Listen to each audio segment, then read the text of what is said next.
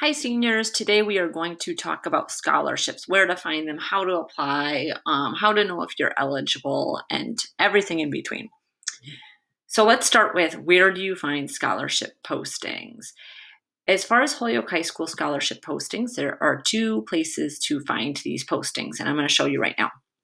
What you're viewing on my screen is the 12th grade school counseling Google Classroom. If you're not a member, write down that class code right now and join it. You were all invited um, and had several opportunities to join. Um, so if you haven't done so by now, you're a little behind the eight ball, but you can still join. We're happy to have you. So you'll click on classwork once you're in the Google Classroom and you'll scroll all the way to the bottom there's really other great stuff in here too. So if you haven't been in here, look around. Scholarships. And we have a link to the master list. Um, and I will open the Google Sheet. So it's organized into a um, Google Sheet, as you can see. We're going to come back to this, but first I want to show you the other place where you can find the scholarship posting, which is on the Holyoke High School College Counseling website. So I usually just Google it. Um, Holyoke High College. No, wrong spelling. College counseling. And you want to find the one that says college counseling, not school counseling. And you click on it. This website also has lots of great stuff, like my YouTube channel with um, some recorded workshops, my appointment calendar, my office hours, um, upcoming events. But anyway, there's a link over here to college planning and financial aid. And if I scroll down until I get to the financial aid section, I will find the HHS scholarship list, which is going to open the same document that we're already on. So this is a document that you can view. Um, you can't edit it. And this is where we post everything as it comes in. And so we post it as it comes in. So you may see things that are due in June, right, that are really far away. And maybe not that much for April. And you're like, man, that's not, there's not that many scholarships. We are going to continue adding things that are due in April because we get emails about scholarships all the time. And as they come in, we post them. So don't think that what you see now for April is all there's going to be for April. You have to keep checking back. So I'm going to explain the way that um, this um, spreadsheet's organized. Um, so basically, we post them as we as they come in. We do try and group them by um, deadline. That being said, um, they may not be exactly in order, but the Januaries will generally be grouped with the Januaries, the Februaries with the Februaries. I have hidden the ones with past deadlines. Um, so we can scroll down. We'll look at some in February, March. You can see there's a few in April, May. But again, I, expect that we'll be posting even more that are due in March and April. Those are very common months for scholarships to be due. So in the first row, you see the name of the scholarship. And the second row, you're going to see a brief description. In the description, we're going to touch a little bit on who is eligible to apply, as well as what the application might entail. This is a brief snapshot, so it doesn't cover all eligibility or all things you need to apply. For that, you, have got to click on the link, which we will do. But this is a good starter. So this one says senior with a 3.0. So if I'm a junior, I know that one's out for me. And if I have a 2.7, I also know that's out for me. Um, but if I have over 3.0 and I'm a senior, I go on to the next criteria demonstrated leadership or involvement in activities. A lot of scholarships say that. It does not mean you need to be involved in everything, it doesn't mean you need to be the president of something. If you're involved in some things, go ahead, give it a go. Now, if you don't do anything, right, if you're not involved in any club or job or um, sport or activity, that's probably not the best one for you. You should be involved in something. Um, and then this one has a very specific income, family income not to exceed $50,000 per year. You might have to ask your um, parents um, if you exceed that or not. And if you just live with one parent, you only need to include the income of the household. You don't need to include um, the income of the the other household if, if you go between two houses now let's say you don't have a parent but you have a legal guardian li- you live with then you qualify because any student who has legal guardians who are not their parents, um, they they're considered kind of an independent student as far as financial aid is concerned, so they would qualify. Um, and then we have the amount over here, 2,500. Now, let's say there's a lot of scholarships coming up and you're trying to decide, oh my gosh, which ones do I apply for? If I were you, I'd probably prioritize the ones worth the most money. So that's good to know. And usually we will put in there if it's awarded um, more than one year. So some scholarships will give you um, a certain amount of money um, per year. So this one's up to $10,000 per year. So I could get that every year I'm in college. And then we have the due date. Due dates are not flexible. So if the due date is passed, you, you should not apply. And also, if the due date is coming up very soon and there's a lot of pieces to the application, you probably don't have enough time.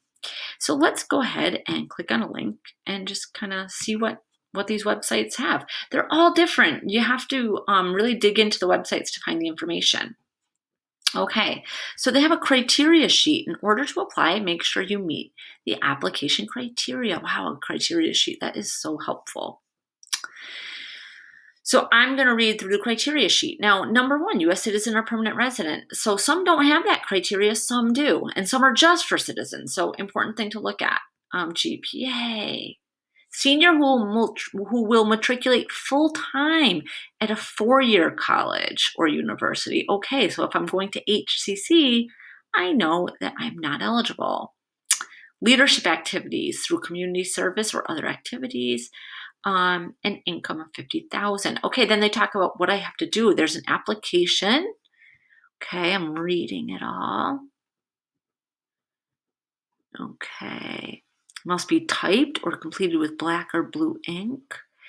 Um, we will not accept them filled out in pencil or red writing ink pen.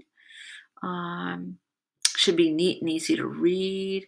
Impeccable, okay, in terms of appearance and legibility. So that means you might need a proofreader because if they're looking for impeccable, they're not going to consider you if you are not capitalizing the correct words, if you are not spelling things accurately, Okay, they must be mailed by March 31st. They need to be received or postmarked. Now, when they say postmarked by a certain date, that means um, the, the you can't necessarily just put it in the mail that day because it might not be postmarked that day. If I'm running late and I need it to be postmarked, I'm probably going to get myself over to the post office to make sure it's postmarked that day.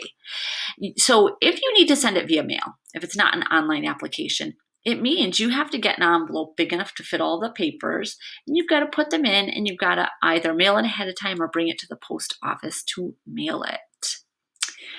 Um, official transcript. Okay, official means the high school has to send it directly to the committee. Now, they say that it has to be in a sealed envelope with the packet. Unfortunately, um, this year they will have to be sent separately. And so you will request a transcript from the high school and you will ask the high school to send it to this address. I'm going to show you how to do that in this session. And then a financial document. So they're asking for parent tax forms um, in this. You have to read everything to make sure you send the right things. A high school senior picture or a picture above the waistline. Oh it must be in color an essay, okay, and you they have a, a very specific topic. Um, they want it double spaced, etc. Um, so if I don't read all the words, I can be rendering myself ineligible, and I can do a lot of work just to make myself ineligible. So, for example, they don't want staples.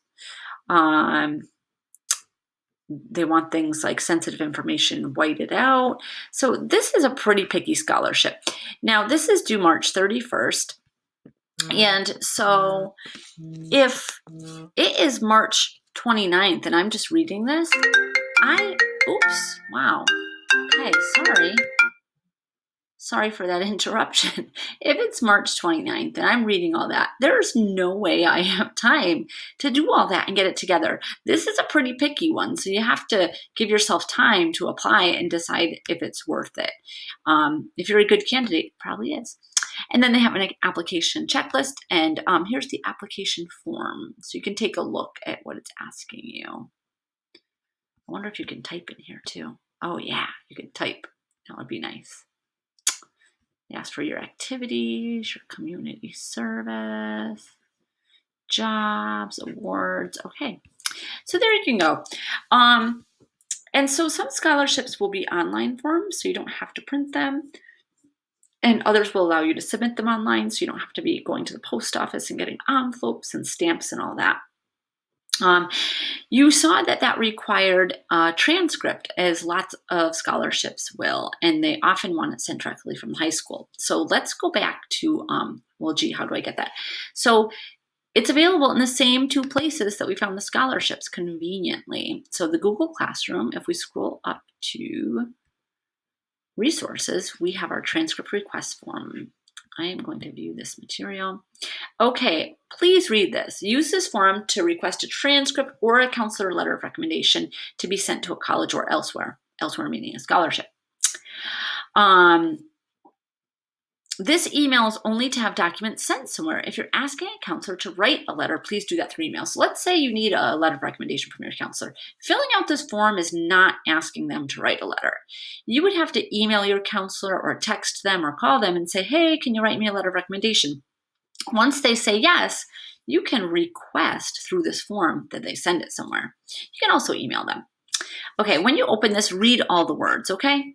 Um, that's what they're there for. And students who um, aren't reading all the words are likely to make mistakes on this and on scholarship applications, and you're going to disqualify yourself um, after doing a lot of hard work. You don't want to do that. So you're going to put your last name, your first name. You definitely need a transcript. If you need that, you can check that too. And if they offer you the option to email, that's best. But um, the one we just looked at did not offer that. So we need to send a hard copy in the mail. And then that address that was right on the application, I'm going to type it out here, okay? So, you know, you can go back to this and you would have to go back and um, find that, uh, I think it was on the criteria sheet. And so I'm going to um, write this down and then I'm gonna fill it out. Janice M. Scott Memorial Fund. Yeah, I would write it down or take a picture, um, which I'm not doing right now. Scott Memorial Fund. And I would put like comma, like whatever street it said, 333 or 33 Western Ave, etc. And um, Holyoke, MA 01040. The address has to be, be complete, okay? You have to include um, the name, the street address, the city, the state, and the zip code, okay? Or else it's, it's not going to be clear. So that is how you request the transcript. Now, this can also be located on the HHS College Counseling page. I should just keep that page open. Again, college counseling, not school counseling.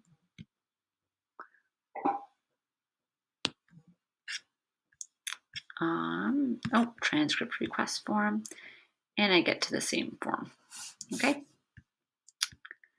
Um, okay, let's see. Now, um, what I recommend doing with this is doing file, make a copy. And um, you might want to rename it like my 2020 scholarships or whatever is the easiest for you to find. So you make a copy. Because once you have a copy, you can edit it and you can put it in whatever order you want. You can delete ones that you're not interested in, that you don't have time for, that you're not eligible for. So, you know, let's this this Elks legacy is for seniors who are children or grandchildren for Holyoke Elk. So if that doesn't apply to me, I highlight that row, I click and I delete that row. And then I'm only looking at things that apply to me. Now, if you do make yourself a copy, remember, you are still going to have to go to, back to the original on a regular basis to find ones that are new. And you can either make yourself a new copy or you could just copy and paste the new ones into your document. Um, let me see, what else do I want to mention? Um, So let's talk about common things that might be expected. Um, you're going to see essays expected. Um, if you can, use the college essay you already wrote or alter that essay a little bit to meet um, the criteria. Definitely save your essays because hopefully you can use them for more than one scholarship. You need to have a proofreader for essays and for scholarships um, because, like I said, a typo, a mistake um, doesn't look professional and they're looking to award students who show promise, and part of that is being professional. Um, you're also going to see them asking for letters of recommendation. Um, because we're virtual, you are going to need teachers and or counselors to either mail or email those letters um, to straight to the scholarship program or give them to you and you can include them in your envelope. You know, that's really up to the teacher or the counselor. You can email your teacher and say, hey, I'm applying to these scholarships. Um, can you give me a copy of my letter so I can include it?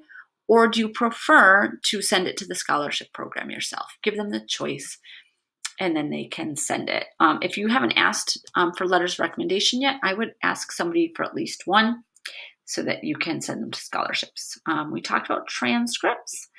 Um, another thing you might see them asking for is an SAR or a student aid report. Now you get that in FAFSA. So if you filled out a FAFSA, if you filled one of these out, um, which if you didn't, you should, um, you're just going to sign in you'll log in. And when you go in, it's going to give you a few options. And one of the options is View Student Aid Report, SAR. You're going to click on that and it'll give you a PDF, which you can download and save. And you can upload it to scholarship applications. You can print it and mail it.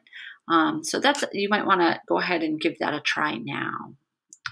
Um, and I think um, another thing I want to mention is that um, you're not going to need money for college if you don't get into college. So if you've been dragging your feet on those college apps, you need to do those. You really need to do those first and do a good job with them so you can get accepted to college. Um, let me point out a few big ones here. Um, These two are great, Red Pine and Yaki. They're worth a lot of money, but they are very specific. Um, they're looking for students with pretty high grades who are applying to competitive four-year colleges, and they also have specific um, income criteria. But if you're eligible, I highly recommend those two. They look at up to 35000 annually. Wow. Walter Bahr and William Rooney, also two really good ones worth a lot of money. Community Foundation of Western Mass. Okay, if you're only going to do one scholarship, this is the one you have to do because it is one application for over 140 scholarships. This is the one that we most see students getting. Um, it does require a copy of your SAR, like I said, your student aid report from FAFSA, and a transcript. But you can upload those yourself. So you can download the SAR and then upload it. You can ask your counselor um, for a transcript or just, you know, fill this out and put in your own email and have it sent to yourself so that you can upload it. Um, okay, I was on this one. Um, so yes, Community Foundation, write that down. That that's a really big one. Um, if you're a member of the Holyoke Credit Union, we have this credit union one, and there's another credit union one. The Holyoke Credit Union definitely do those. Um, the Mass Green and the Dubelo, if you're going to um, partner colleges, like the Dubelos for UMass. Those are good ones. Um, the HCC Scholarship Foundation will be posted as soon as it's available. It's usually due in March. Any student going to HCC should do that one. That one is a little complicated.